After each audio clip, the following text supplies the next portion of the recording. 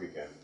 Sì, io direi, mh, visto che abbiamo poco tempo, cioè, se no io avrei tantissime domande da farti, ti dico un po' di alcune, alcune riflessioni, poi vedi tu diciamo quali, quale pensi valga la pena più magari anche se ci, se ci fai il regalo di qualche bella lettura da questi due Sì, sì, sì, sì, infatti poi concludiamo con una lettura direi. E, ci sono tanti gli aspetti interessanti, abbiamo visto la reciprocità che arriva addirittura nel testo, quando metti la doppia, la freccia di doppia implicazione, no? Eh, che ho trovato molto interessante. Ehm, ci sono... ehm, sì, io tornerei su- sull'aspetto politico perché ehm, sempre eh, nella rete ho visto questa intervista che se non sbaglio è rilasciata per Nazione Indiana ehm, e mm, appunto si parlava appunto del, del mercato, no? Non c'è di doppia implicazione, volevo... Eh, fa- fallo vedere. E, e si parlava appunto proprio anche del- del- della visibilità che ha la poesia, del commercio, cioè eh, rispetto a, a quello. E, e a a me inter- mi aveva interessato quello che avevi tu risposto, però non vedevo, cioè secondo me poteva essere ancora sviluppato quel discorso lì, cioè eh, tu dici, ipotizzavi, correggimi se sbaglio, una terza via che stia tra l'osannare un autore, e tu dici io apro la pagina culturale del giornale e trovo che viene o osannato come bestseller, come dicevi tu prima, dentro la libreria, eh, oppure eh, viene demolito un autore.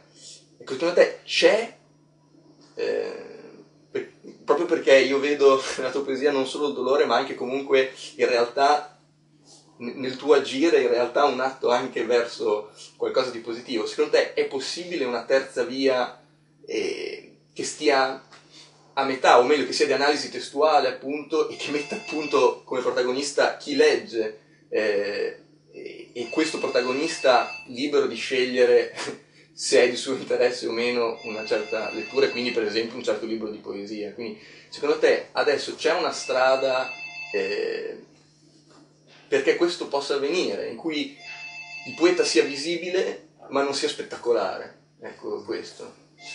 So che è una domanda difficile. No, no, son- diciamo che, che contiene già insieme la risposta, nel senso che chiaramente quello che tu dici a proposito dell'analisi è quello che esattamente io intendevo dire. Cioè, di fatto molta... A me capita di leggere recensioni, eh, ma anche saggi, più facilmente però recensioni, che non, non citano nemmeno una parola del libro che stanno recensendo. Come faccio io lettore a capire di cosa si sta parlando semplicemente dal- dagli entusiasmi o dalle delusioni del recensore? E, e quindi ecco, questo è un elemento. Peraltro ci possono essere recensioni furbette di 20 righe, di cui 15 sono citazioni.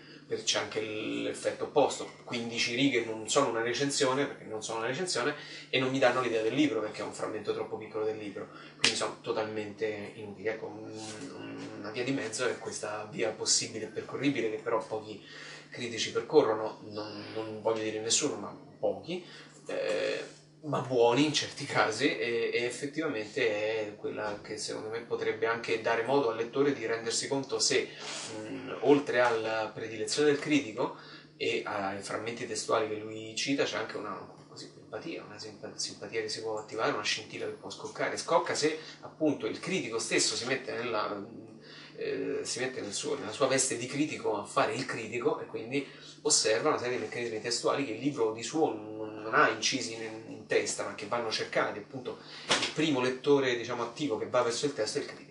E poi deve essere capace di trasmettere questo, questo innamoramento, delusione o mezza delusione e mezzo innamoramento al, al lettore. E spesso questo non succede.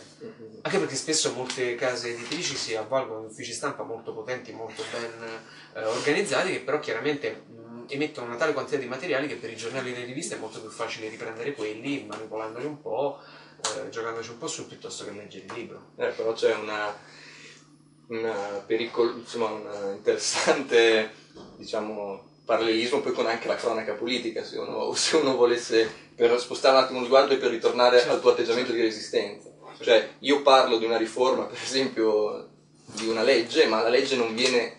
Cioè, io cittadino non riesco a Non vedere, so qual non è- so quale sia la legge, io so le opinioni di tutti, ma non so come sia la legge. no? Quindi questo, io vedo anche appunto questo, questa forza e valore della tua poesia anche in questo senso di resistenza che apprezzo molto. Poi lascio la parola a te, Matteo, se vuoi consigliare o per scegliere a Martin, No, che realtà, poesia. A questo punto, visto, a maggior ragione, visto quello che ha detto, darei la parola al Leggiamo. testo. Se, Leggiamo. se sei d'accordo, se non sei d'accordo. D'accordo. Eh, leggerei da, Quello che puoi. dalla casa esposta ancora un paio di testi e poi ancora da scelta. Eh, la prima sezione della mm, casa esposta si intitola Delle ellissi, che ovviamente la doppia del senso delle- delle- della forma geometrica, anche le, le- le cose che ellitticamente si, si omette di dire. E delle chiaramente non è soltanto il partitivo, ma è anche il, mm, il genitivo. La mattina la falena non c'era, era stata presa vetro persiana, riaperta la leggenda, non ne cade polvere di colpi, di minuti. Il vecchio saliscendi allora, disdice il giorno, scontorna, torna contorta dentro, ombra al centro. Questa è un po' una mia ossessione, questa della, del- della centralità dell'ombra nell'iridescenza poi invece del linguaggio. Anche molto a che fare con eh, il tuo rapporto con la fotografia e quindi con la luce che delimita spazi, ma in realtà non sembra, sembra più che altro poi continuare a, a delimitare un'assenza, quindi un, un cerchio d'ombra da cui promana questa luce abbastanza inquietante. Tra O- l'altro, o il grigio omo- o il così grigio. omogeneo dei- delle tue fotografie che Ma poi tu fai riferimento a Giacomelli, a Woodman. Sì, Eh, sì, sì, sì, sì. Anche lì, se avessimo più tempo, sarebbe interessante. Comunque, invitiamo chi ascolta a leggere i, te- i testi e sicuramente si incuriosirà. Sì, nella nota finale poi di Shelter, appunto nominando Woodman e, e Giacomelli, ehm, parlo di questi due fronti oltraggi che si implicano, l'estremo di Clarté e il suo opposto, il bianco è nero. E, e questo mi, mi fa riflettere al- su- sul fatto che uno del- degli autori a cui non posso fare riferimento e che mi piace brevissimamente citare è, non è un poeta, non è un romanziere, non è un prosatore, ma è un... cioè è stato in realtà anche narratore. Ed è Emilio Garrone, un filosofo scomparso recentemente, uno dei, dei più sensibili e attenti chiosatori della terza critica kantiana. Una delle, delle cose che maggiormente mi sento di dovergli nella mia poi mh, scarsa conoscenza, insomma, non sono un filosofo, ecco, sostanzialmente, però comunque studi di filosofia ne ho fatti, è proprio questa im- im- implicazione reciproca e costante, eh, una sorta di disegno escheriano di mano che disegna una mano, eh, del senso e del non senso, e quindi del bianco e del nero. Per cui noi non, non- non percepiamo il bianco se non a, a- non a contrasto, che implicherebbe un dualismo, ma a, a sfondo, a, a coerenza, a coesione col bianco del nero. E, mm, e leggo poi a specchio due poesie, a questo punto sempre dalla casa esposta, che in qualche maniera sono anche loro due mani che si disegnano. La casa ha una più lenta ossidazione dovuta all'acqua, casa dovuta all'acqua. Le viole, corde delle luci gialle, lontano la cucina, diffratte una via l'altra, vedi, le vedi più da qui alle mura assetate male, la canna fumaria fitta, più fradicia per le vespe, i nidi, ricresciuto intorno il cerchio bruno, il nero fumo che ricorda cera grigia delle labbra, del padre doppio che era esposto alle ultime visite. Continua a piovere. Soltanto variare vale, pensa mentre quasi cade. Poco prima di finire si addormenta, anche nel sogno piove. Lei fabbrica un intero sogno che la divide, partita da un suono, solo una frazione o anche finzione di secondo, prima degli occhi, viene un'ago immagine di costa insidiata da meridiani, nodi strappati sotto il petto, come in una fossa, ma come senza sterno, blanda, ma da troppo distante la figura, la piegatura delle dita, accenna a salutare e non è vista e sente che un drappo le copre e cancella come fosse un'altra la faccia, ma poi torna da capo, ma non è sua, ma parla, è quasi un filo sul fondo dello specchio, un mallo di domenica si brucia l'istante che le sono aperti gli occhi mattina, lei anche da sveglia brucia. Sono due testi appunto da, da casa esposta, un piccolo dittico in realtà poi spezzato da un'altra poesia che- che non ho letto e qualche altro forse ritratto può essere letto da Shelter. Comunque sì, c'è sempre questo ritorno al, al non visto, il nascosto, eh, l'ombra appunto. eh. Eh, io qua adesso appunto ci eravamo ripromessi di non parlare ovviamente di, di massimi sistemi, però io vedo veramente una proprio relazione agli opposti, anche una relazione appunto col non visto per eccellenza forse, eh, cioè l'inconscio eh, freudiano e comunque la relazione con gli opposti e, e proprio la, la, costruzione del senso, no? e, e, quindi ho trovato molto suggestivo eh, Shelter anche sotto questo profilo, diciamo. E...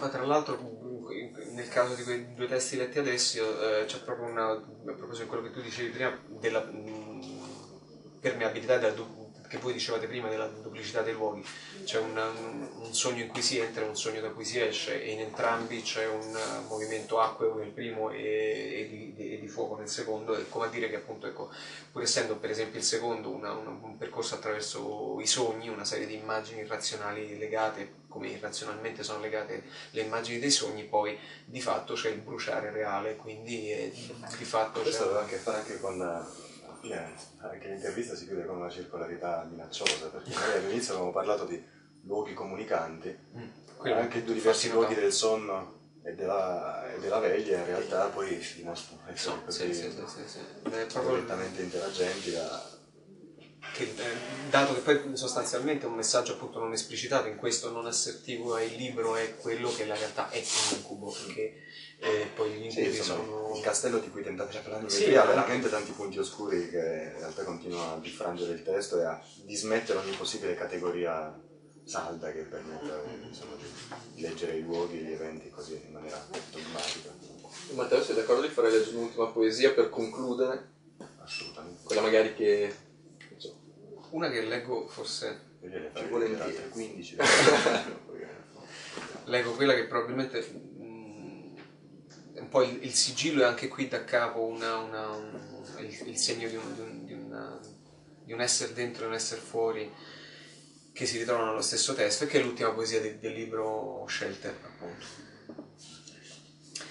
La natura ferma entro la ghiera nel cortile protetto per l'arcata non ottobre superiore, la natura della ghiera è quella costano le mura per la felce, per tenere protetto, per il casto. Gli animali di lamento breve e più breve notte che si alternano nei tessuti sanno che non hanno costruito o che non è per loro. E così usano quello che c'è, le pieghe dei riporti di terra, le marcite cuoriformi, la crittografia della mattina verde, che non ha pietà se è sotto l'acqua nera e perde siero e sangue quello che ancora è per metà dentro la nascita.